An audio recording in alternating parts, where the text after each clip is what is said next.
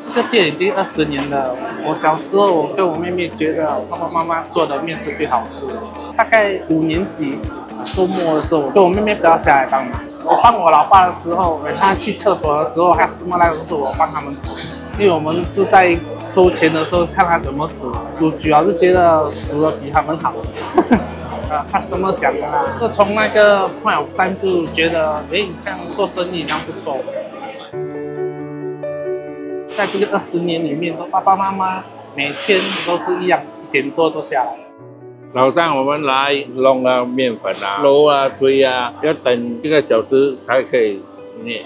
我们的汤大骨酱鱼子熬了三四个小时，要等那个肉来，我们就调味那个肉哦。习惯了啦，坚持我是硬硬做咯。那我儿子大了，我现在就慢慢慢慢给他接受。大概二零幺幺年，我当完兵出来，我就在这边做后台。为什么我会要做？是因为那些面啊、手工面啊、面粉糕啊，全部是我自己做的嘛。所以是觉得，哎，我会做面出来，为什么不要自己在这个店里面看可不可以做其他东西，把它变化更好？